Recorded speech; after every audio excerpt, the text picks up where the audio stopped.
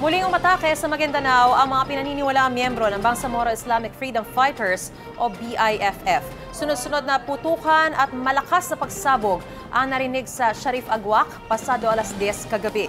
Ayon kay Sharif Agwak Mayor Marok Ampatuan, inakala nilang sinalakay ng mga rebelde lahat ng detachment sa kanilang bayan.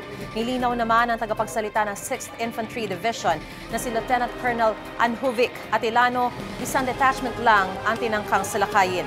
Napaatras din ang mga BIFF nang salubungin ng mga tangke ng mga sundalo.